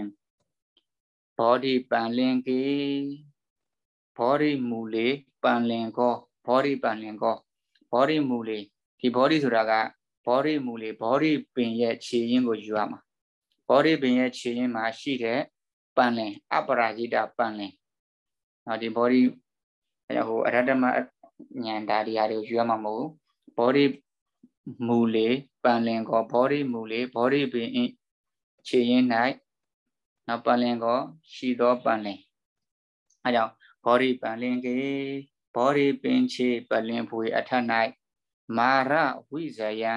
မာရဆိုတာကမန်၅ပါးဝိဇယဆိုတာကအောင်မြင်တာမန်၅ပါးကို အောင်မြင်ခြင်းသဗ္ဗညုတေညာနပฏิဝေဒံ သဗ္ဗညုတဉာဏ်တော်ကို ထိုးထွင်း၍သိမြင်ခြင်းပฏิဝေဒဆိုတာကထိုးထွင်းသိမြင်တာဓမ္မစက္ကဘဝတဏ္ဏဓမ္မစက္ကဆိုတာကဓမ္မစကြာတရားကိုဘောဒနာဖြစ်စေတာတနည်းအားဖြင့်ဟောပြတာဓမ္မစက္ကဘဝတဏံဓမ္မစကြာတရားဟောတော်မူခြင်းနဝလောကုတ္တရဓမ္မေတိကိုပါသော လောကုတ္တရာတရားတို့ကိုပါသော လောကုတ္တရာတရားဟုဆိုအပ်သောသဗ္ဗေပိအလုံးစုံကုန်သောဒီမေလေးကိုဗုဒ္ဓဂုဏ်နဲ့အတွက်ဣမေဗုဒ္ဓဂုဏ်ဤဖယားခုံအလုံးစုံတို့ကိုအဲဖယားစုဒီပဏိဒါနာတော့မှာဖယားစုပညာကစပြီးတော့ဒီဘက်ကဓမ္မစက်ကဘောဒနာနော်ဓမ္မစကြာတရားဟောသည့်တိုင်အောင်ဖယားမြတ်စွာဘုရားရှင်ရဲ့ပါရမီဖြစ်တော်စဉ်အကုန်လုံးကိုတဲ့ အာဝတ်ဇစ်တဝါစင်ချင်၍ဝါအာယုံပြု၍ဝါအချင်းချုပ်၍အဲ့ဒါကဝေဒာလိယာဝေဒာလိပိဤတိတုပါကာရံတရေတုတိတုဆိုတာက3ပါကာရဆိုတာကဒရိုင်းအန္တရဆိုတာကအကြာတိတုပါကာရံတရေတုဝေဒာလိပိဒရိုင်းသုံးထပ်တို့ဤအကြာ၌တိယာမ တိဆိုတာက3ယာမဆိုတာကယံနော်ရတ္တိဆိုတာကညင့်ညင်3ယံပတ်လုံးတိယာမရတ္တိညင်3ယံပတ်လုံးပရိဒံယရဏတုတ်ပရိတောကိုကရွန်တော်ရွတ်ဆိုမှုကို ပြုတော်မူသောအာယတမအာနန္ဒထေရောဝိယ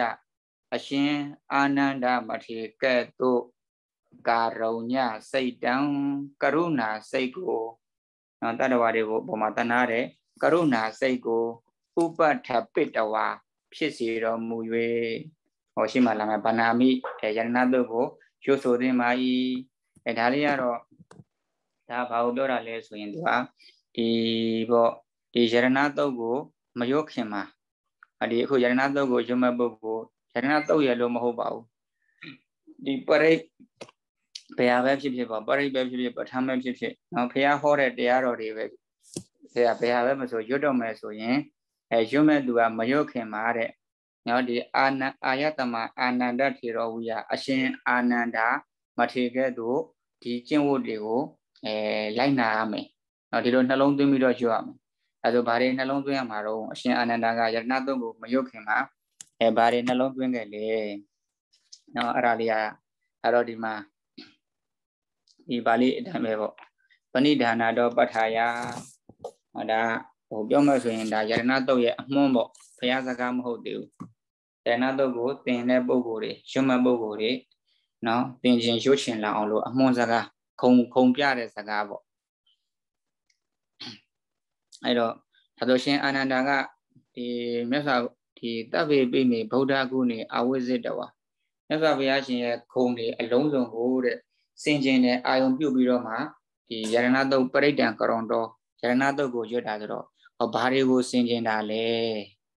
ဟောဘာတွေကိုစင်ကျင်တာလဲဆိုတော့အမအပေါ်မှာပဏိဘယနေစပြီးတော့စင်ကျင်လဲပဏိဒါနာတော်ပဋ္ဌာယမြတ်စွာဘုရားဟိုသူမေတ္တာယတိဘဝနော်ဖះစုပန်ရအခါကနေစပြီးတော့မှ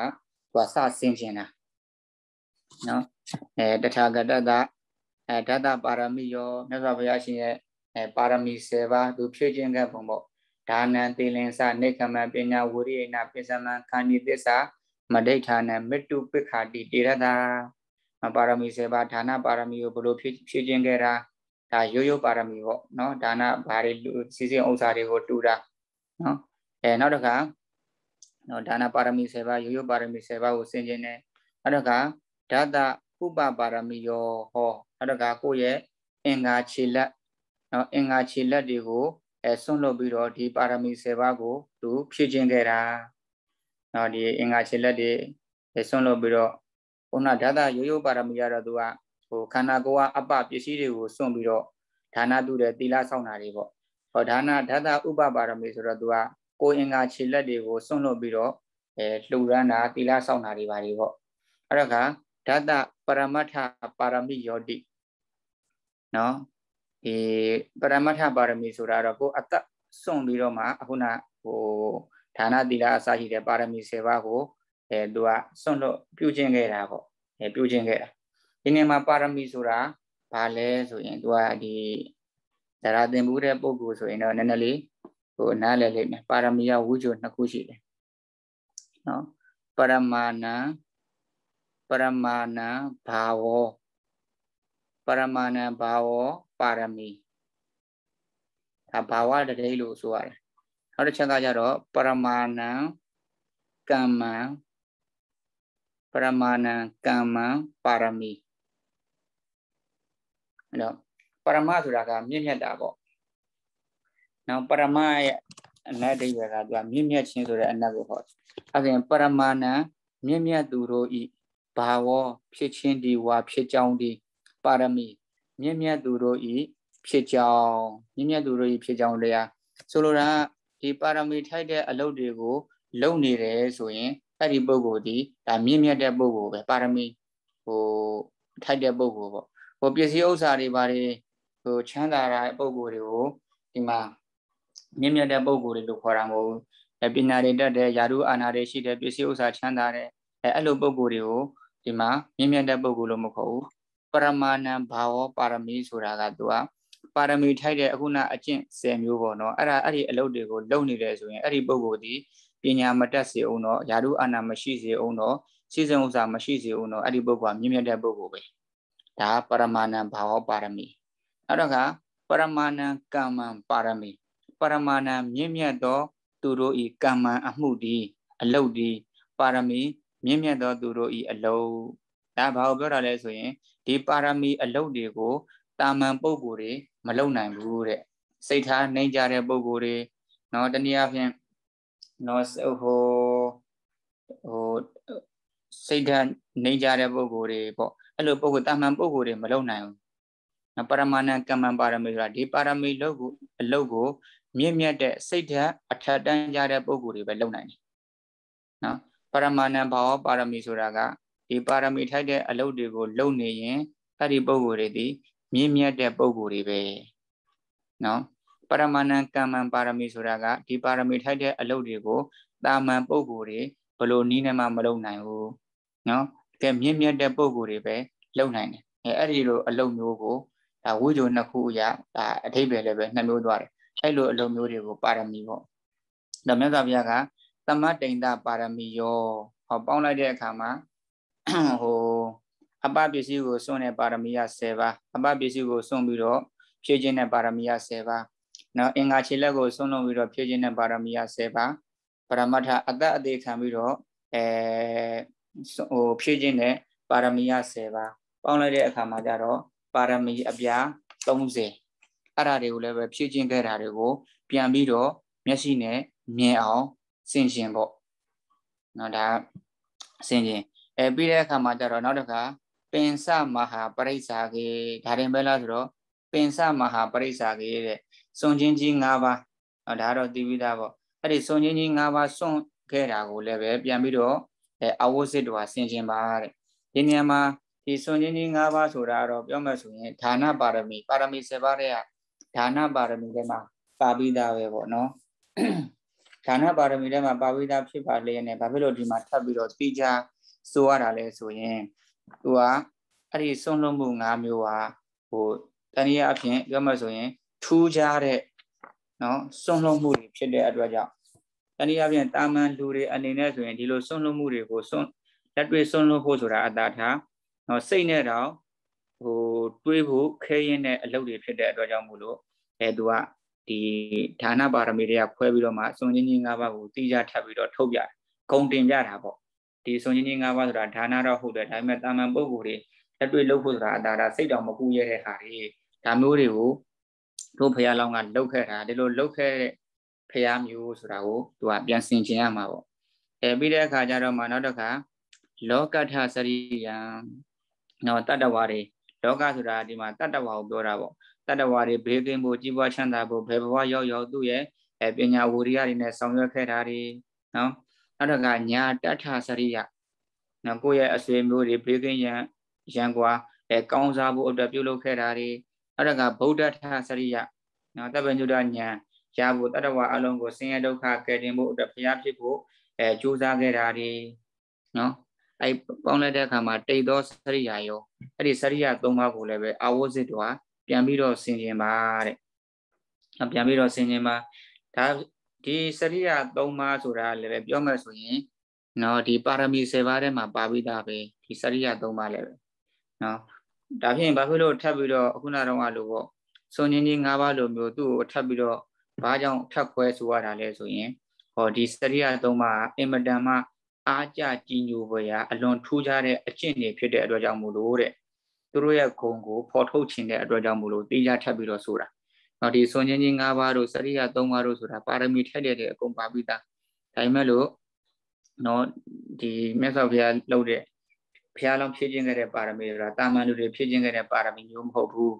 ဒီလိုအရာမျိုးတွေကိုဖြည့်ခြင်းခဲ့တယ်ဆိုတာ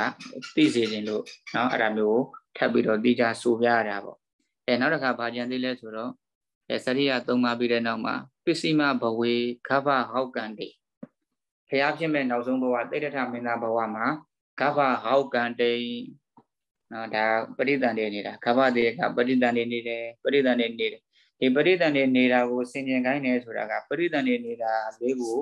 ဒါဆင်ញင်ခိုင်းတာမဟုတ်ဘူးပေါ့ပရိသန်နေနေတဲ့အချိန်မှာနော်အံ့ဩဖွယ်ရာတွေပေါ့နော်ဟိုဘုရားလောင်းပရိသတ်နေနေတဲ့အချိန်နတ်ပြည်ကနေပြီးတော့မိခင်ဝမ်းတို့နော်ဟိုကရောက်ခဲ့တာတွေပရိသတ်နေနေတဲ့အချိန်မှာ နော်ဟိုကဘာမြေတုံလှုပ်တာတွေနတ်သားတွေအဲလာပြီးတော့စောင့်ရှောက်တာတွေနော်ဒီဘုရားလောင်းမယ်တော့အဲ့ဒီပရိသတ်နေနေတဲ့အချိန်မှာကာမစိတ်လုံးဝမဖြစ်တာတွေအဲစသည်ဖြင့်ပေါ့အဲ့ဒီအချိန်မှာဖြစ်တဲ့ဟာတွေကိုအကုန်လုံးဆင်ခြင်ရမှာအဲ့ဒါပစ္စည်းမဘဝေဂဘဟောက်ကန်တိတ်ပြီးတော့မှဇာတိတ်ဖွာတော်မူတာဖွာတော်မူတာကိုလည်းဆင်ခြင်ဆိုတဲ့နေရာမှာသူကအဲဖွာတော်မူတဲ့အချိန်မှာဖြစ်ပေါ်လာတဲ့နော်ဟိုဖွာတော်မူတဲ့အချိန်မှာဖွာတော်မူပြီးတော့မဲတော့ အဲတည်ပြီးတော့ခုနှစ်ရက်ကြာမှတည်ပြီးတော့ဟိုတူတိတာနတ်ပြည်မှာဖြစ်တာတွေနော်အခြားမိမတွေကကိုလလွယ်ပြီးတော့ဆယ်လဖွာဖះလောင်းကကြတော့ဆယ်လတိတိလွယ်ပြီးတော့မှဖွာတာတွေပြင်ကြံတဲ့အမျိုးသမီးတို့လိုထိုင်ပြီးတော့အိပ်ပြီးတော့ဖွာတာမဟုတ်ပဲနဲ့မတ်တရပြီးတော့မွေးဖွာတာတွေအဲမွေးဖွာပြီးတဲ့အချိန်မှာဖះလောင်းတော်ကိုနတ်တွေကပထမဆုံးခံယူတာတွေမွေးဖွားပေးပေးခြင်းရှင်မှာပဲဒီစကားပြောတာတွေဘာတွေအဲ့ဒါတွေအကုန်လုံးပါတယ်အဲ့ဒါဇာတိန် မွေးဖွားတာကိုဆင်ကျင်ပါဆိုတာအဲ့ဒါတွေအကုန်လုံးပါအောင်ဆင်ကျင်ပါပေါ့အများကြီးပေါ့နော်ဒါသိကျင်နေဆိုရင်မွေးဖွားပေးခြင်းမှာနော်အခောမသမိလောကတာတေထောမသမိလောကတာဇေထောမသမိလောကတာဆိုပြီးဒါတွေကြွေးကြော်တာတွေပါတယ်အဲဒါတွေအကုန်လုံးကိုဆင်ကျင်ရမှာဒါဇာတိန်နော်အဲ့တော့နောက်တစ်ခါအဘိနိခမနအဘိနိခမနတောထွက်တာနော်တောထွက်တယ်တောထွက်တယ်ဆိုတဲ့နေရာမှာလည်းပဲသူက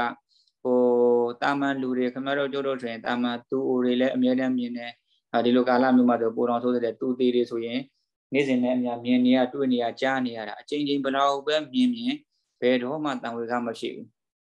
အဲဘုရားလောင်းကတော့အဲ့လိုမဟုတ်ဘူးတစ်ချိန်တစ်ခါမြင်ုံလေးနဲ့နော်သူအိုသူနာသူသေးဆိုတဲ့ဒီနမိတ်ဟိုနမိတ်၃ခုပေါ့အဲ့ဒါကိုတစ်ချိန်တစ်ခါမြင်ယုံလေးနဲ့သူသူ့ရဲ့ ဒီနန်းစည်းစိမ်အပေါ်မှာဘာတစ်ခုမှမตายရတော့ဘဲနဲ့ဒါတွေအကုန်လုံးကငါ့အတွက်ဘေးအန္တရာယ်တွေပဲဆိုပြီးတော့နော်ဒီအပြစ်မြင်ပြီးတော့တောထွက်သွားတာတွေနော်တောထွက်ပြီးတဲ့အဲတောထွက်တဲ့အချိန်မှာပဲလမ်းမှာမာနနဲ့တွေ့မာနကဟာမတော်မထွက်ပါနဲ့နောက်9ရက်ကြာရင် စัจ जा ရတာကြီးစိုက်ပြီးတော့အသင်မင်းသားစัจ जा ဝရမင်းဖြစ်မှာဆိုပြီးတော့အဲလာပြီးတော့သူ့ရဲ့မလုံးနေပေးပြီးတော့တောမထွက်အောင်တားတာတွေဟောစသည်ဖြင့်ပေါ့အဲ့ဒါတွေအကုန်လုံးကိုဆင်ခြင်ရမယ်ဒါအဘိနိခမနံအဲ့ဒါကဗရဏစရိယ ဒုက္ခရစရိယကျင်တာဒုက္ခရစရိယဆိုတာကတော့ဒါလမ်းမှန်တော့မဟုတ်ဘူးလမ်းမှာပဲဟောလမ်းမှာပဲဒါပေမဲ့လမ်းမှာဆိုပေမဲ့လို့လည်းပဲဒီဒုက္ခရစရိယအကျင့်ကိုနော်ဘုရားလောင်းကလွယ်ပြီးတော့ကျန်တဲ့ပုဂ္ဂိုလ်ဘယ်ပုဂ္ဂိုလ်မှလုံးဝမကျင့်နိုင်ဘူး။နော်ဘုရားမဖြစ်မီ6နှစ်အတွင်းမှာကျင့်တဲ့ဒီဒုက္ခရစရိယအကျင့်ဆိုတာအကျိုးမဲ့လမ်းမမဟုတ်ပေမဲ့လည်းပဲနော်ဒါတွေကဘုရားလောင်းကဘယ်လောက်ထိ ဟိုပြောမှဆိုရင်ဝိရိယအရာမှာအာကြည့်လေဘုရားပြုဖို့ဘယ်လောက်ထိအဲသူစိတ်ထက်တန်လဲဆိုတာကိုအဲဒါပြန်ပြီးတော့ဆင်ခြင်ရတာအဲဒါဗราဏစရိယာပေါ့နော်ဗราဏစရိယာရုပ်လက္ခဏာတွေပြတ်ပြီးတော့မှနော်ဟိုလူလို့မထင်နိုင်တော့အောင်ကိုအဲပြတ်ပြီးတော့ဒီကျင့်ကျင့်တင်ခဲ့တာအဲဒါမျိုးတွေဆင်ခြင်တာဗราဏစရိယာနောက်တော့ကဘောဓိပန်လင်ကေမာရဝိဇယံ ဘောဓိပင်ချေပလင်ဖွေအထက်မှာမာရဝိဇယံနဲ့မန်၅ပါးကို အောင်မြင်တာတွေနော်မန်၅ပါးကိုအောင်မြင်တာပလင်ဆိုတာတော့ဟိုတုထယနော်မြတ်ထမ်းသမားလူတဲ့လူတဲ့မျက်ရှိစုပ်ကိုကျဲဖြန့်လိုက်တဲ့အခါမှာအဲမျက်ရှိစုပ်ကနေပြီးတော့သူကအဲဘောဓိပင်ချေပလင်ဖွေဖြစ်လာတာဒီပလင်ပေါ်မှာငါဖះမဖြစ်ခြင်းမဖြစ်မချင်းငါဘယ်တော့မှမထားဘူးဆိုပြီးတော့တန်ဋိဌာန်ချအဲချပြီးတော့ဖះဖြစ်မဲ့နေ့မှာ နေမွေခင်မှာမာနတလာပြီးတော့အဲ့မှာသူ့ကိုစစ်ထိုးတာတွေပလင်လှူတာတွေပလင်လှူတယ်ဆိုတာပလင်လိုချင်လို့တော့မဟုတ်ဘူးပေါ့မာနပဲသူ့မှာလည်းပလင်တွေအများကြီးရှိမှာပေါ့အဲ့မဲ့ဘုရားလောင်းကဒီပလင်ပေါ်ကနေဘုရားမဖြစ်မချင်းမထဘူးဆိုပြီးတော့တန်ဋိဌာန်ချထားတဲ့အတွက်ကြောင့်မလို့ဘုရားမဖြစ်အောင်လို့ပလင်လှူတဲ့သဘောမျိုးပေါ့နော်အဲ့မှာပလင်လှူတာတွေမာနကို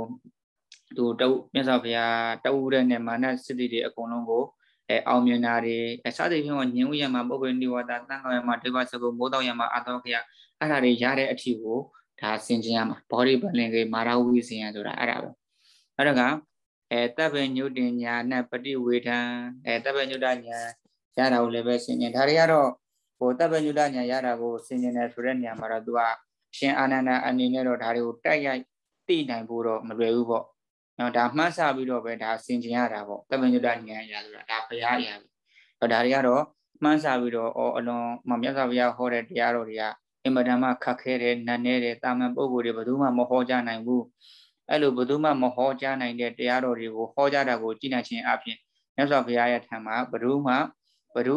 အလုံးထက်တာလုံးနဲ့တပ်ပညုတဉာဏ်ဆိုတာရှိတယ်အလုံးကိုသိနိုင်တဲ့ဉာဏ်တော်ရှိတယ်ဆိုတာအဲ့လိုမှန်းဆပြီးတော့ဆင်ခြင်တာပေါ့ ဒါကိုပဲတပ်ပညုတညာနဲ့တပ်ပညုတညာနဲ့ပရိဝေထံ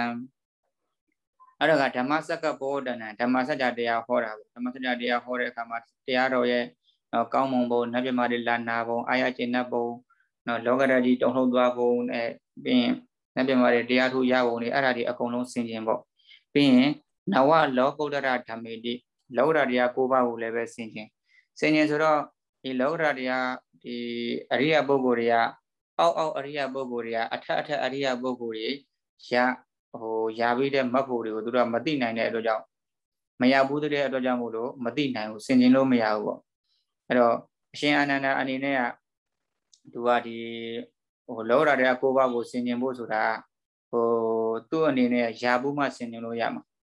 မရဘူးဆိုရင်သူဆင်ခြင်လို့မရဘူးပေါ့အဲ့တော့သူမှရှင်အာနန္ဒာအဲ့ချိန်မှာသောတာပန်ပဲရှိနော် သောတာပန်ဖြစ်တဲ့အတွက်ကြောင့်မလို့သူကအထက်မအထက်ဖို့တွေကိုတော့သူကဟိုဖန်းဆပြီးတော့ဆင်ခြင်ရတာပေါ့နော်မှန်းဆပြီးတော့ဆင်ခြင်ရတာပေါ့ပြီးတော့အလုံးပေါင်းလိုက်တဲ့အခါမှာတပ်ပေပြီနေဗုဒ္ဓခုနေအဝိဇ္ဇတဝါအလုံးစုံသောဘုရားကုံနဲ့နော်မှန်တကယ်ဘုရားကုံဆိုတာဟိုအလုံးစုံသောဘုရားကုံကိုဆင်ခြင်ဖို့ဆိုတာကတော့လုံးဝမဖြစ်နိုင်ဘူး။ဘာကြောင့်လဲဆိုတော့ဘုရားတဆူရဲ့ခုံကိုဟိုအခြားဘုရားတဆူကနေပြီးတော့မှ နော်ဒီပြင်တရားမဟောပဲနဲ့အဲ့ဒီဘုရားတဆူရဲ့ခုံကိုပဲတကဘာပလုံးဟောနေအောင်ပါတဲ့ကဘာသာကုံရင်ကုံသွားမယ်အဲ့ဒီဘုရားရှင်ရဲ့ခုံတော်ကလုံးဝမကုံဘူးတဲ့ကျန်တဲ့တရားမဟုတ်ဘူးဘုရားအချင်းချင်းပဲသူတို့ရဲ့ခုံကိုပြန်ဟောတာတကဘာပလုံးအဲကဘာကြီးတာကုံရင်ကုံသွားမယ်အဲ့ဘုရားရှင်ရဲ့ခုံကဟောလို့မကုံဘူးတဲ့ဟောဒါကြောင့်မလို့ဒီနေရာမှာတော့အရှင်အာနန္ဒာမှာဘုရားရှင်ရဲ့ခုံကိုဆင်ခြင်နေဆိုတဲ့နေရာမှာကိုတိတလောက်ခုံကိုဆင်ခြင်တာတော့ အဲဥမာဥပ္ပစာစကားနဲ့ဆိုရင်ဒါအဲငါသည်သမုဒ္ဒရာကိုမြင်၏သမုဒ္ဒောမယဒိဋ္ဌောမယငါဒီသမုဒ္ဒောသမုဒ္ဒရာကိုဒိဋ္ဌောမြင်အပ်ပြီးကိုကသမုဒ္ဒရာကိုမြင်တယ်ဆိုတာကသမုဒ္ဒရာအကုန်လုံးကိုမြင်တာမဟုတ်ဘူးကိုမျက်စိနဲ့မြင်နိုင်လောက်တဲ့သမုဒ္ဒရာကိုပဲကိုကမြင်တာအဲအဲ့လိုပဲရှင်အာနန္ဒလည်းဘုရားကုံအကုန်လုံးကိုစင်ကျင်နေတာမဟုတ်ဘူးကိုတိတလောက်ခုံလေးတွေကိုပဲစင်ကျင်တာပေါ့နော်အဲ့ဒါကိုပဲတပ်ပေပိနေဗုဒ္ဓကုနေအဝိဇ္ဇတဝါ အဲ့တော့ကိုအကုန်လုံးမဟုတ်ဘဲနဲ့ဘာလို့တပ္ပတရာနဲ့သုံးတာလဲအဲဒါတပ္ပဆိုတာကဟိုအကျွင်းကြံရှိတဲ့တပ္ပရိတတပ္ပအကျွင်းကြံမရှိတဲ့နိဗ္ဗရိတတပ္ပဆိုပြီးတော့နှမျိုးရှိတာပေါ့နော်အဲဒါဒီနေရာမှာဒီတပ္ပကအကျွင်းကြံရှိတဲ့တပ္ပရိတတပ္ပပေါ့နော်ဟိုအကျွင်းကြံမရှိတဲ့နိဗ္ဗရိတမဟုတ်ဘူးပေါ့အဲဒါမျိုးဒီလိုဒီတပ္ပမျိုးနဲ့သုံးလာတာပေါ့အဲအဲ့လိုဆင်ញင်ပြီးတဲ့နောက်မှာမှာတဲ့အဲ့တော့မြတ်စွာဘုရားရှင်အဲ့လိုခုံးလေးကိုဆင်ញင်တာ အဲ့လိုဆင်ញင်လိုက်တဲ့အခါကျတော့ဟာဒီလိုဘုရားမျိုးနော်ဒီလိုပုံကိုမျိုးဒီလိုပါရမီတော်တွေကိုဖြည့်ခြင်းခဲ့တဲ့ပုံကိုဒီလိုပါရမီတော်အတိုင်းဖြည့်ခြင်းခဲ့တဲ့ဘုရားရှင်ကဟောခဲ့တဲ့ပရိတ်တော်တွေပါလားဒီပရိတ်တွေကဒီဘုရားရဲ့ပရိတ်တော်တွေဘာလားဆိုတော့သူရွတ်တဲ့ပုံကိုမှာဘာတွေဖြစ်လာလဲဆိုတော့စိတ်အားထက်သန်လာတာပေါ့ဟိုဒါတွေအကုန်ဆင်နေလာတဲ့အခါကျတော့ဒီလိုပုံကိုဒီလိုဘုရားဟောတဲ့ပရိတ်တွေပါလားဆိုတော့သူရွတ်မဲ့ပုံကိုမှာလည်းပဲဝန္တာအရာစိတ်တွေအားတွေထက်သန်လာတယ် နားတဲ့ပုဂ္ဂိုလ်ကလည်းပဲဒါတွေကိုသိထားတဲ့အခါကျတော့ဒီလိုပုဂ္ဂိုလ်ကဟောတဲ့ပရိတော်တွေကိုငါတို့နားရတာပါလားဆိုပြီးတော့အဲသိထားတဲ့အခါကျတော့သူတို့ရဲ့တဏ္ဍာမှာတရားတရားတွေထက်ခါထက်ကတိုးလာတယ်ရွှေတဲ့ပုဂ္ဂိုလ်လည်းဝန္တာအာရတွေဖြစ်နာယူတဲ့ပုဂ္ဂိုလ်လည်းတရားတရားတွေဖြစ်အဲ့ဒီစိတ်တွေနဲ့ရွတ်ကြနာကြတဲ့အခါကျတော့ကုသိုလ်တရားတွေကပို့ပို့ပို့ပို့ပြီးတော့တိုးလာတာပေါ့အဲဒါကြောင့်မို့လို့အဲ့လိုတိုးလာအောင်လို့အဲအဲ့ဒါတွေကိုပရိမယုတ်ခင်မှာဒါတွေကိုစင်ကျင်ရမယ်ရှင်အာနန္ဒအဲ့လိုစင်ကျင်တာပေါ့အဲကြောင့်မို့လို့ ဆင်ခြင်ပြီးတော့မှနော်ဒီတိယာမရတ္တိန်နော်တိယာမဝေဒာလိယာတိတုပါကာရံတရေတုဝေဒာလိပြီဝေဒာလိပြီဤတတိုင်း၃ချက်နော်ဦးဇင်းတို့ဒီဝေဒာလိဆိုတာကသူကလူဦးရေအရန်ထူတာသပထမဦးဆုံးနော်ဟိုတတိုင်းတစ်ထက်ကာရတယ်အဲတတိုင်းတစ်ထက်ထဲကာရတာပေါ့သူမျိုးအဲ့ဒီမှာမကြဘူးလူဦးရေတွေကအရန်တိုးလာတဲ့အခါကျတော့နောက်တစ်ခါတတိုင်းက တစ်ခါထပ်ပြီးတော့ချက်ရတယ်။ဟောချက်ချက်ပြီးတော့မှလူရထပ်ပြီးတော့တိုးလာတဲ့အခါကျတော့နောက်တစ်ခါတတိုင်းကိုထပ်ပြီးတော့ချက်ချက်ပြလိုက်တာ။တတိုင်းကို၃ခါချက်ရတယ်။လူရတွေအရန်တိုးတဲ့အတွက်ကြောင့်မို့လို့ဟိုနော်မြို့ကကြီးတဲ့ကြီးလာတာပေါ့။ဒါကြောင့်မို့လို့တတိုင်းသုံးတဲ့ကာယံဟိုအဲ့လိုချက်တဲ့အခါမှာလည်းပဲတစ်ခုနဲ့တစ်ခုကနီးနီးလေးတော့မဟုတ်အဝေးကြီးပဲပေါ့။အဲ့လိုတတိုင်းသုံးရက်ကာယံထားတယ်တဲ့။အဲ့လိုတတိုင်းသုံးရက်ကာယံထားတဲ့ထဲမှာမှအခုအရှင်အာနန္ဒာကနေပြီးတော့သူကတတ္တိယနောက်ဆုံးတိုင်းပေါ့ နော်အဲနောက်ဆုံးတိုင်းတစ်ထပ်ပြီးတစ်ထပ်ဟိုတက်ပြီးတော့နောက်ဆုံးတိုင်းမှာတိယာမရတ္တိနော်ညင်300ပတ်လုံးညင်300ပတ်လုံးဆိုတာကတညာလုံးတညာလုံးပေါ့နော်တညာလုံးရွတ်တာနော်တန်ကောင်ရံမိုးတော့ရံအထိဟိုမိုးလင်းတဲ့အထိတညာတနေ့လုံးတညာလုံးရွတ်တာပေါ့ပရိဒံကရွန်တော်တဲ့တညာလုံးရွတ်တာအဲအဲ့လိုရွတ်တဲ့အချိန်မှာသူကဘာစိတ်ထားလဲဆိုရင်ကာရုညစိတ်တံဥပထပိတဝါတဲ့ နော်ကာရုညစိတ်တံဥပထပိတဝါဆိုတာကဩဒီကရုဏာစိတ်ထားတာပေါ့ဒီပရိဒေါကြောင့်အခုခံစားရတဲ့ဒီလူတွေခံစားရတဲ့ဒုက္ခဝေဒနာတွေကနေပြီးတော့မှအမြန်ဆုံးအဲကင်းလို့ပါစေချမ်းသာပါစေချမ်းသာပါစေဆိုတဲ့စိတ်ကလေးနဲ့ကရုဏာစိတ်ကလေးထားပြီးတော့ဘုရားကုံတွေဆင်မြင်ပြီးတော့ရွတ်တယ်တဲ့နော်အဲဒီနေ့တော့အရှင်စီပါပဲဆိုတော့ဒီလောက်နဲ့ပဲထားလိုက်ကြအောင်ဆိုအမှန်တမ်းမှစအောင်